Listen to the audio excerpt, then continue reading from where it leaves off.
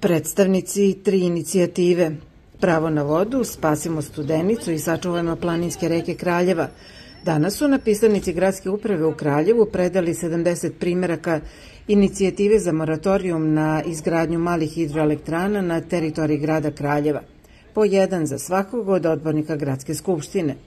Pre toga održali su konferenciju za novinare, na kojoj su pojasnili da je njihov čin apel i podsjednik odbornicima da nakon dve i po godine od podnošenja peticije na istom mestu reaguju i sačuvaju reke Kraljeva.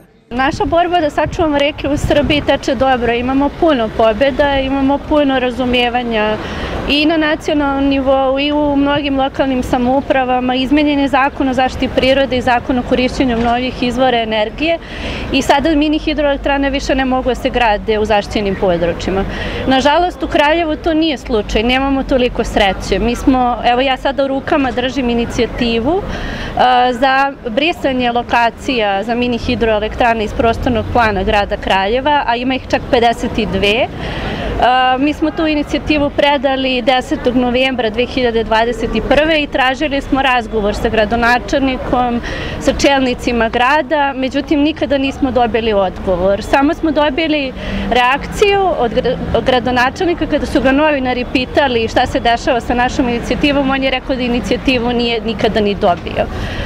Zato smo mi sada rješili da, pošto je izabran novi saziv gradske skupštine i ovo je praktično nova gradska uprava u novom mandatu, rješili smo da ih podsjetimo na našu inicijativu. Znači, mi ne predajemo novu inicijativu, iskopirali smo ovu inicijativu sa zavodnim pečatom, vidite ovdje, znači imamo dokaz da smo je predali u novembru 2021. godine, Iskopirali smo u 70 primeraka i predat ćemo je svakom od novih gradskih odbornika i tražit ćemo da se naša inicijativa usvoji.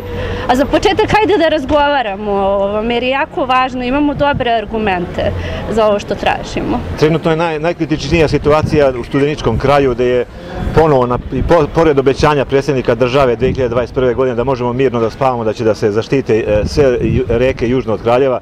Međutim, to je bilo malo zatišje, Evo, krenuli su ponovo na reku Studenicu, gde je odmaklo dosta sa, sa tim papirologijom, gde smo mi stavili ogroman broj primjedbi, znači građani su se masovno uključili ovde, iako je bilo dosta blokirano da ljudi ne mogu iz drugih gradova Srbije da, da pošalju e, primjedbe, zato što bi morali da dođu lično ovde u Kraljevo, a ne da pošalju elektronske, tako znači, što je mislim, čudno bilo malo, ali smo uspjeli 50-ak primjeri da, da postavljamo dosta stručnih i dosta emotivnih, znači ljudi su emotivne žali primjere i zbog manastira Studenice, zbog reke Studenice.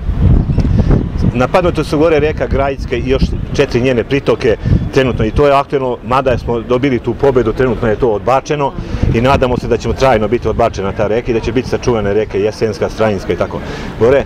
I imamo najnoviju informaciju Sklapijevac, jedna predivna reka sa bezbroj nekih slapova, tako je dobila na ime, isto u Mlanči na granici opštine Raš, Kraljevo i Ivanjica i ona je u toku sudski neki procesi oko sa, sa, sa vlasnicima imanja koji ne daju svoju zemlju.